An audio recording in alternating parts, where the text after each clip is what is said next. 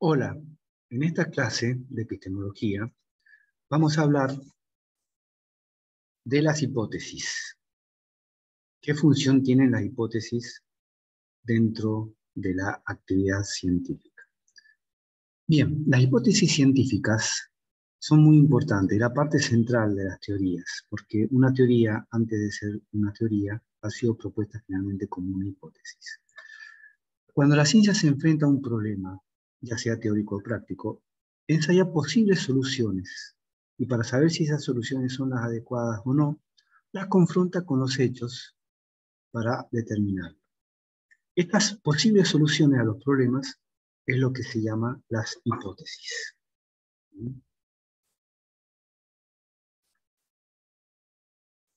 Acá tenemos, ¿no es cierto? Después pueden detener la, eh, el video para leer un caso de una hipótesis para resolver un problema de, movimiento dentro de la física aristotélica, otro caso para resolver problemas de la presión atmosférica y del vacío con Torricelli, ya en la época de Galileo, en la modernidad, siglo XVII. El problema de cómo explicar la combustión en química, y ahí tenemos el tema del flogisto, ¿no? la teoría del flogisto de Stahl y cómo fue refutada por Lavoisier en el siglo XVIII.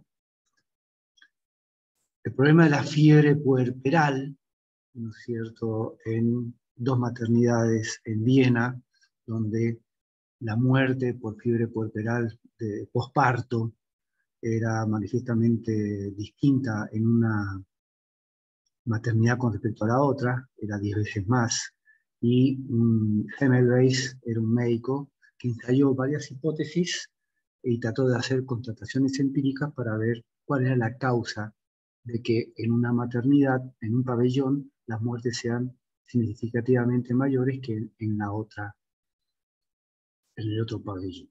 Bien, acá lo pueden leer, son casos históricos donde los científicos se, toman, se topan con problemas y ensayan hipótesis para tratar de, y los contrastan empíricamente para determinar su validez.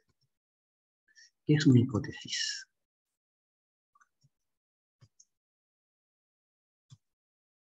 Viene del griego hipo, que significa debajo, y tesis, posición o poner, es decir, poner por debajo o suponer. En latín, debajo es sub y puesto es positum, suppositum es decir, supuesto. O sea, hipótesis en griego y supuesto en latín significan lo mismo, es una suposición. ¿Mm? Definición, vamos a tomar algunas definiciones de los manuales de epistemología. Diez y Múlines nos dice cualquier afirmación, una proposición simple o compleja, que tenga consecuencias empíricas contrastables, y por lo tanto determinar si es verdadera o falsa, en cierto sentido. Anastani nos dice que un enunciado susceptible de ser sometido a contrastación. ¿eh? Fíjense los puntos en común que tienen las dos definiciones. Diegues dice, es una propuesta o afirmación contrastable empíricamente que se considera provisional y revisable a partir de nuevas experiencias. Le agrega un componente más. Entonces, ¿qué tenemos? Por un lado, es una afirmación o proposición. En segundo lugar, puede ser sometida a la constatación empírica. Y en tercer lugar, eh, puede, eh, su valor puede variar eh, dada nuevas contrataciones empíricas. Es decir, es un enunciado que se propone como una solución a un problema, que debe someterse de algún modo a la contratación empírica para que sea aceptada. Las teorías científicas explican, predicen, describen los hechos. Para elaborar o producir una teoría, la ciencia, para, antes de ser teoría, necesita proponer una hipótesis. La ciencia tiene varios caminos o métodos para proponer hipótesis. Los principales son muchos, ¿no es cierto? Pero los principales o los caminos básicos, los principales son dos. La inducción, que es ir de los hechos a las teorías, y la deducción, que es ir de las teorías a los hechos. o sea, de lo particular a lo general, y en el caso de la deducción, de lo general a lo particular. Por la inducción de los hechos se infieren leyes. Vamos a ver ahora la inducción como origen de las hipótesis. Por la inducción se infieren leyes. De los enunciados básicos, proposiciones empíricas singulares, verdaderas, se infieren las generalizaciones empíricas o leyes. Un conjunto de leyes puede determinar una teoría. O dicho de otro modo, una teoría está formada por un conjunto de leyes que dan cuenta de un determinado grupo de fenómenos empíricos que son los hechos a explicar. Por ejemplo, este cisne negro, este cisne 1 es blanco, este cisne 2 es blanco, distintos cisnes, n cantidad de cisnes, son blancos cada uno, por lo tanto, ahí viene la generalización empírica, todos los cisnes son blancos. Entonces, fíjense que funcionan como un razonamiento donde hay premisas, que son proposiciones, en este caso son, son enunciados básicos, o sea, son proposiciones singulares empíricas, y la conclusión es un enunciado general, empírico también, una generalización empírica, se le llama ley. ¿Cuál es el problema de la inducción? ¿No es cierto? La verdad de la ley no se sigue necesariamente de la verdad de los enunciados básicos. Es que vimos que es una forma de razonamiento inválido, aunque sea útil para la ciencia, tiene sus límites. Por ejemplo, no está determinado el número de hechos o casos particulares suficientes para inferir la ley. ¿Mm? O sea, ¿cuántos casos, cuántos cisnes tengo que ver para determinar que todos los cisnes son blancos? ¿Uno? ¿Cien? ¿Mil? Segundo, ningún caso o hecho debe ser falso, porque apenas encuentre un caso de un cisne que no sea blanco, entonces la hipótesis, todos los cisnes son blancos, sería falsa. Y aparte no se está determinado en qué condiciones, en cuáles son las condiciones en las cuales se dan los hechos. Y si se varían las condiciones, siguen también repitiendo los hechos. Entonces, por eso, ¿no es cierto?, se propone el otro camino, la deducción como origen de las hipótesis. La deducción, es, la, deducción es una forma de razonamiento válida porque la verdad de la conclusión se sigue necesariamente de la verdad de las premisas. Por eso la ciencia recurre a este esquema para determinar la validez de sus teorías o leyes de un modo mucho mejor que la inducción. Por la deducción, la ciencia propone hipótesis, que son enunciados generales, para resolver un problema. Una hipótesis es una proposición general que no sabemos si es aún verdadera o falsa. Para poder determinarlo tenemos que hacer una confrontación con los hechos. Pero ¿qué pasa? Los hechos son particulares y las hipótesis son generales. ¿Entienden? Entonces, para poder realizar una contratación empírica, tengo que deducir de la hipótesis general un caso particular, un enunciado singular, y ese enunciado singular sí lo voy a confrontar con los hechos. Y a ese enunciado singular, deducido de la hipótesis general, se le llama consecuencia observacional. Ejemplo, puedo partir de la hipótesis, si todos los cisnes son blancos, este cisne n o x es blanco. Deduzco una consecuencia observacional posible. El cisne 1 es blanco. ¿No es cierto? O sea, si es verdadero la premisa 1, entonces por lo tanto debe ser verdadera la premisa 2. Porque sería un caso particular del enunciado general. ¿Mm? No hay otra pero no, no, pero no sé el valor de verdad del enunciado general, pero sí puedo determinar el valor de verdad del enunciado particular. Entonces, todos los cisnes son blancos, porque cada cisne, el 1, el 2, el 3, es blanco, por lo tanto, todos los cisnes son blancos. Pero hay un problema. Fíjense, puede ocurrir, igual, si todos los cisnes son blancos, este cisne es blanco, el cisne 2 no es blanco. Por lo tanto, no todos los cisnes son blancos. O sea, basta que en un caso encuentre un cisne que contradiga eh, la consecuencia observacional que la hipótesis va a ser falsa. Siguiendo la forma válida del razonamiento Modus-Tollens, la hipótesis es la premisa antecedente y la consecuencia observacional es la proposición consecuente. Al negar la consecuencia observacional, la hipótesis es falsa. Pero al afirmar la consecuencia observacional, la hipótesis puede ser tanto verdadera como falsa, porque su forma inválida de razonamiento es una falacia de afirmación del consecuente. Por eso se prefiere este método, por eso a este método se lo llama método hipotético deductivo o falsacionismo. ¿Por qué?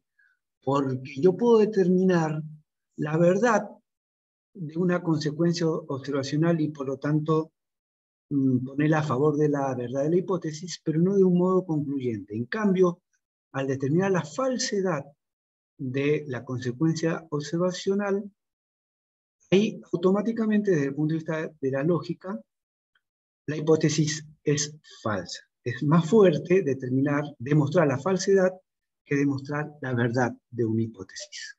Hay una asimetría de la contratación de hipótesis.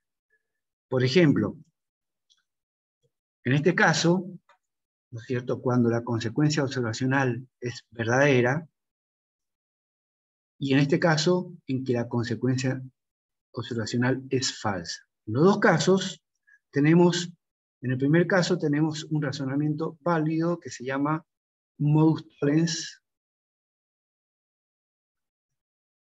y en el segundo caso, ah, discúlpenme, acá tengo que invertir. Mm, este no es caso, no es negro,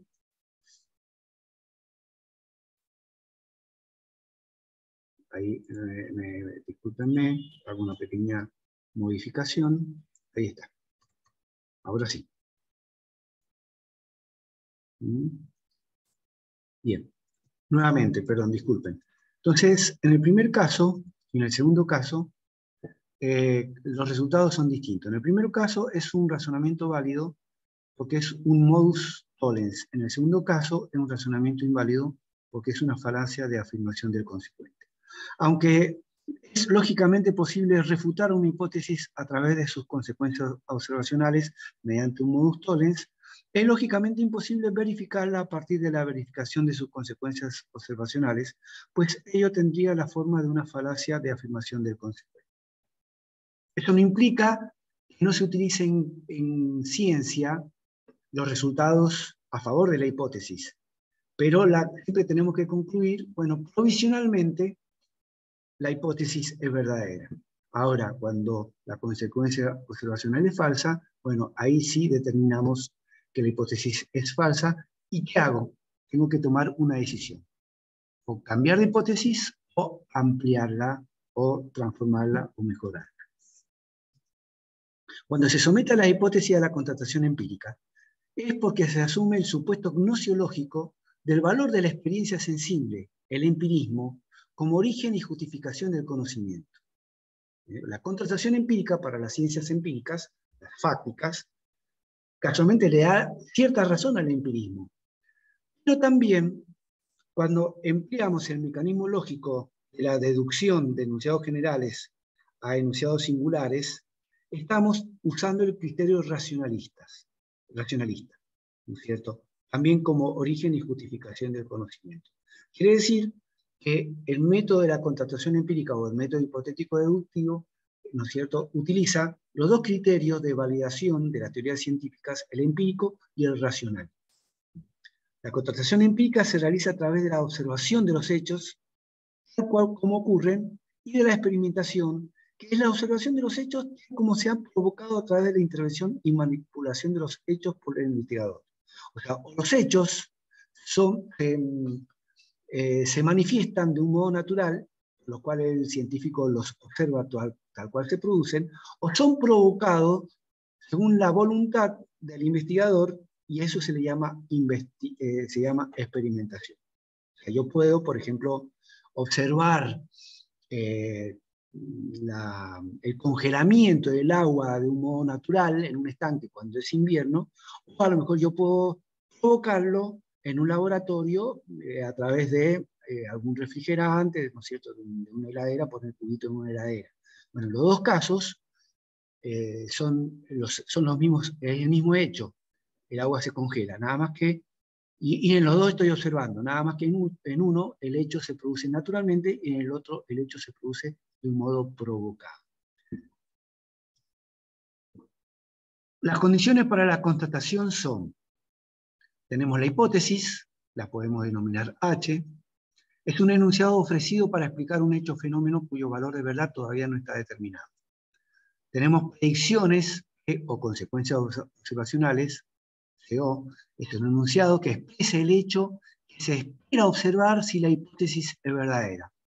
Es un enunciado singular empírico que se deduce de la hipótesis. Puede ser verdadero o falso de acuerdo con el hecho que quiere expresar. Tenemos también las condiciones iniciales. Significa que eh, los hechos o fenómenos que están presentes hay otros hechos y fenómenos que están presentes también en la constatación empírica. Las condiciones iniciales son, se expresan a través de enunciados singulares, expresan el contexto de la observación o experimentación del hecho o fenómeno que se predice. Por ejemplo, en el caso del congelamiento del agua, la temperatura y la presión son condiciones iniciales. Supuestos auxiliares, SA o hipótesis auxiliares, son enunciados generales que vienen de la misma o de otra disciplina que interviene en la contrastación. Acompañan a la hipótesis, pero no forman parte de la contrastación. Su valor ya ha sido determinada por la propia disciplina o por otra. Por ejemplo, si estoy haciendo un experimento con respecto al estado de la materia, el funcionamiento de un termómetro, ¿no, es cierto? no tengo que demostrarlo cómo funciona un... Ya doy por hecho eh, la teoría del termómetro que interviene acá como una hipótesis auxiliar, que no tengo que demostrar, yo la tomo como suficientemente demostrada eh, por otras disciplinas o por la misma disciplina. También tenemos hipótesis derivadas, son enunciados generales deducidos de una hipótesis principal, que sigue siendo todavía general. Eso lo diferencia de una consecuencia observacional que es singular.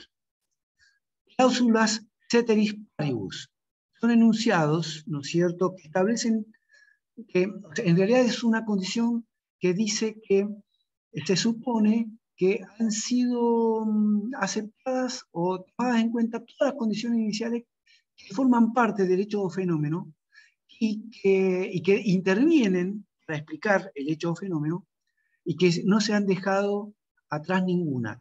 Lo que pasa es que a lo mejor puedo ignorarlas.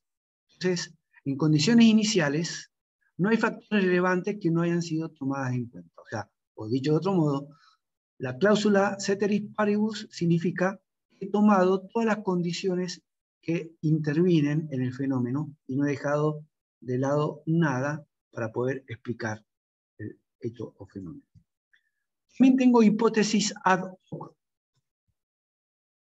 Lo que ocurre cuando se me da un caso negativo en la constatación particular de una consecuencia observacional, la hipótesis ad hoc salva de la refutación a la hipótesis a contrastar, negando alguna de las otras hipótesis o condiciones iniciales supuestas en la consecuencia observacional en juego. Por ejemplo, puede ser que cuando yo realice muchos experimentos u observaciones, en todos los casos, o en la mayoría de los casos, se da lo que se espera en la constatación empírica, pero pueden haber casos que sean negativos. Entonces, la hipótesis ad hoc explica por qué en algunos casos no se da lo esperado por la hipótesis. Pero son casos mínimos que hay que saber salir a explicar, ¿no es cierto?, para no terminar de refutar la hipótesis, sino seguir aceptándola, ¿no es cierto? La contratación empírica puede analizarse como una forma de razonamiento y por lo tanto también se puede reducir a un condicional asociado para determinar su validez. Por ejemplo, tenemos eh, si la hipótesis y las condiciones iniciales y las, eh, eh, las hipótesis auxiliares, entonces P, que sería la consecuencia observacional. También puede ocurrirse lo contrario. Si no es cierto la hipótesis, y se dan las condiciones iniciales y se dan las hipótesis auxiliares, entonces probablemente no se dé las consecuencias observacionales. Entonces, tenemos en una contratación de hipótesis, vemos ahora un ejemplo, un caso histórico. Tenemos un problema. En la carne podrida aparecen gusanos. ¿Cómo explico esto? ¿De dónde vinieron los gusanos? Los gusanos vinieron de las moscas que depositaron los huevos, o la carne podrida tiene gérmenes que de la carne, del, material muerto, inerte, se genera vida, que sería la hipótesis de la generación eh, eh, espontánea, que se, creía en el siglo XVII, siglo XVIII. ¿Cómo se expresa la hipótesis? Los gusanos pueden generarse espontáneamente a partir de la materia inerte. Es un enunciado general, universal, con términos observables no teóricos, lo que sería una generalización empírica. Podemos inferir una, eh, deducir de este enunciado general algo particular, la eh, materia inerte que no toma contacto con agentes externos generará gusanos. La contratación empírica, o sea, tengo que deducir una consecuencia observacional para contratarlo empíricamente. este experimento, para tratar de determinar la validez de esta hipótesis, lo, lo realizó Francesco Redi, que tomó distintas muestras de carne y las puso en, distintas, en distintos frascos, tapó los frascos para impedir que, las moscas depositaran eh, los huevos en la carne, para ver si después de determinados días se generan gusanos o no, ¿no es cierto? La carne en frasco con boca tapada con papel atado son las condiciones iniciales para cada caso. Por ejemplo, condición inicial 1, se coloca carne fresca en el frasco 1, condición inicial 2, se cierra el frasco 1 con el papel X. Fíjense que estas condiciones iniciales se expresan con enunciados básicos singulares sin términos teóricos. Por eso se puede hacer la contratación empírica. El resultado, ¿hay o no hay gusanos? ¿Qué es lo que se espera? Sería la predicción o consecuencia observacional. ¿Mm? Que esto, esto es lo que tengo que confrontar con la realidad. En el frasco 1, o 2 o 3, ¿hay gusanos o no hay? Son enunciados básicos. Tengo hipótesis subsidiarias también. Los gusanos pueden generarse espontáneamente a partir de la materia inerte. La condición inicial se coloca carne fresca en el frasco 1. Condición inicial 2, se cierra el frasco 1 con el papel X. Consecuencia observacional 1, en el frasco 1 hay gusanos. Bien, ahí tienen la estructura lógica. O sea, si aparecieron gusanos, ¿no es cierto? Esta sería la estructura lógica. Si aparecen gusanos, niego entonces, no, no es que niegue la hipótesis, niego todo el primer término, ya sea la hipótesis como las consecuencias, eh, las condiciones iniciales, uno y dos. La constatación completa sería así.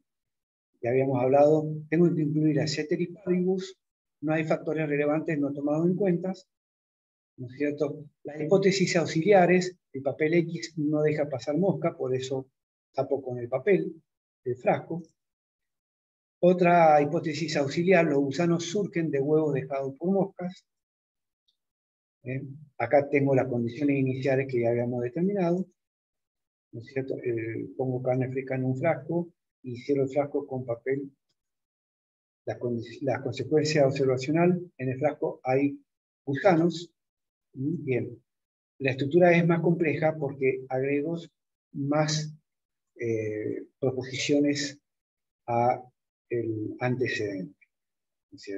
Ahora, en este caso, si no se producen gusanos, quiere decir que estoy negando, no sé si estoy negando que los gusanos se, eh, se generen por generación espontánea, porque puede haber ocurrido algún error, ¿no es cierto? Que eso lo explicaría por la hipótesis ad hoc. Que a lo mejor cerré el frasco y igual se produjeron eh, gusanos. Ahora, no necesariamente eso indica que la hipótesis de la generación espontánea sea verdadera, porque puede haber ocurrido algún error que lo determino con la hipótesis A. En caso negativo de una contratación particular, salva de la refutación a la hipótesis a contrastar, negando alguna de las otras hipótesis o condiciones iniciales presupuestas en la consecuencia observacional en juego. Por ejemplo, que el papel dejó pasar las moscas porque estaba roto, o en el frasco no fue correctamente cerrado con el papel, quedó abierto y entró una mosca, o no, me olvidé colocar frasco, eh, la, la en el frasco. ¿No es cierto? Bien, habíamos hablado del holismo de la constatación. Nunca se contrastan enunciados de, de manera aislada, ¿no es cierto? Siempre las hipótesis están asociadas también con lo que sería el contexto de la contratación empírica, que son las condiciones iniciales, las cláusulas ceteris paribus, las eh, las hipótesis auxiliares, las hipótesis ad hoc, bueno, todo eso va en lo que sería el antecedente del razonamiento y la contratación empírica sería el consecuente. ¿Mm? Las consecuencias observacionales se deducen de un complejo de hipótesis. La refutación, como la corroboración o confirmación, siempre apuntan a este complejo de hipótesis y no a uno de sus componentes en particular.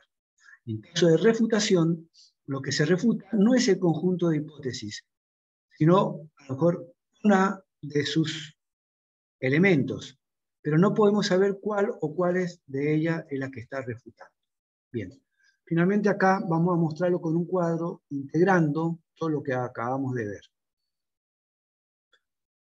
Método hipotético deductivo partimos de un problema, proponemos una hipótesis como solución del problema, que sería un enunciado, como dijimos, generalmente un enunciado empírico, pero general, ¿no es cierto? Tenemos que realizar una contratación empírica con los hechos para determinar su verdad o falsedad, pero como es un enunciado general y los hechos son particulares, ¿no es cierto? Tengo que realizar una deducción. Pero eh, eh, junto con la hipótesis tenemos también condiciones iniciales, hipótesis auxiliares, cláusula ceteris paribus e hipótesis ad hoc. Eh, por deducción de la hipótesis, las consecuencias observacionales o las predicciones, es lo que sí puedo hacer la, realizar la contratación empírica y por lo tanto determinar su verdad o falsedad. Pero lo que es verdadero o falso son las consecuencias observacionales. Ahora, si voy para arriba a la hipótesis, tengo que determinar en cada caso eh, cuál sería su valor. ¿Qué pasa con cuando las consecuencias observacionales eh, mediante la contratación empírica con los hechos es verdadera? ¿Y qué pasa cuando es falso? Cuando es verdadera, la, la hipótesis queda corroborada, pero tengo que ir a nuevas consecuencias observacionales y seguir repitiendo el experimento. ¿Por qué? Porque desde el punto de vista lógico, si vamos a la estructura formal, esto sería el caso de una falacia de afirmación del consecuente, ¿no es cierto?, donde la verdad del consecuente no necesariamente determina la verdad del antecedente. En cambio, cuando es falso, sí refuta el antecedente, pero acá habíamos dicho que el antecedente no es únicamente la hipótesis. La hipótesis está asociada con la condición inicial, las hipótesis auxiliares, las cláusulas ceteris paribus y la hipótesis ad hoc. ¿No es cierto? Que salvan de la refutación completa, ¿no es cierto?, de la hipótesis. Entonces, en cada caso tengo que estar revisando si cuando se produce un caso en falso, en la contratación empírica, es suficiente para refutar la hipótesis o ver qué es lo que ha sucedido, algún componente que acompaña la hipótesis para determinar si realmente necesito cambiar la hipótesis o no. En la ciencia suele ocurrir lo que se llama las contrataciones cruciales o las discusiones. Puede ser que para resolver un problema aparezcan hipótesis contrarias alternativas. ¿Entienden? Entonces, que casualmente se resuelven desde el punto de vista de la contratación empírica. Esto se llama contrataciones cruciales. ¿Esto qué significa? Que puedo tener dos hipótesis alternativas rivales la contrastación empírica, que será la misma, sirve para decidir. La hipótesis alternativa tiene la misma predicción. La ocurrencia o no de la predicción decidirá a favor, de una o de otra de las alternativas. Técnicamente son dos contrataciones que hacen predicciones contradictorias sobre el mismo fenómeno. El resultado, sea cual sea, confirma a una hipótesis y refuta a la otra. Lo vemos acá con un ejemplo. Yo tengo un problema, tengo una hipótesis 1 y tengo una hipótesis O, 2. Pero la consecuencia observacional es la misma. En el primer caso se afirma y en el segundo caso se niega. Después lo vamos a ver con un ejemplo. Se produce la... ¿Qué pasa cuando se produce la afirmación de la consecuencia? Cuando se produce la afirmación de la consecuencia, ¿no es cierto? Eh, según el esquema de la lógica, eh, confirma la hipótesis 1 y niega la hipótesis 2. Pero habíamos dicho que la confirmación de la hipótesis quiere decir que la hipótesis 1 sería verdadera, pero no de un modo definitivo. Pero sí, la falsedad de la hipótesis 2 es, diríamos así, desde el punto de vista lógico, simple, sencillo, absoluta. Por lo tanto, tengo que descartarla. Quiere decir que la predicción me confirmó una hipótesis y me descartó la otra. Pero puede ser, ¿qué pasa cuando me da el caso, de la, el caso contrario, que la predicción, la consecuencia observacional negativa. Al revés, se negó la primera hipótesis y se afirmó la segunda. ¿No es cierto? Un ejemplo histórico. ¿Cuál sería el ejemplo histórico? Que vamos a poner para que se vea esto, para que se entienda esto que por ahí el, el esquema formal puede que no se entienda. Eh, tenemos acá dos hipótesis, llamaríamos dos hipótesis con respecto mm, al, comportamiento del universo, que sería, la, inclusive son dos teorías que las podemos proponer en este caso como hipótesis, que es la teoría de Newton con respecto a, al comportamiento de los astros en el universo, y eh, que sería la física de Newton y la física de Einstein. ¿no? ¿Cómo explica Em, eh, la física de Newton y la física de Einstein. El caso de, mm, del movimiento, por ejemplo, de del comportamiento de los planetas eh, con respecto al Sol, eh, bueno, el tema de la gravitación universal. Bueno, resulta que mm, acá lo voy a explicar de un modo muy sencillo, que mm, eh, bueno, eh, tanto Newton como Einstein tienen supuestos que son contrarios. O sea, para Newton supone que el, espacio es uniforme, continuo, en cambio para Einstein el, espacio se deforma por la presencia de la masa. Entonces, para poder demostrar eso, si el espacio es uniforme en cualquier parte del universo, independientemente de que tenga masa o no, ¿no es cierto?, en el espacio, dentro de ese espacio, o sea, eh, una masa ocupa un espacio.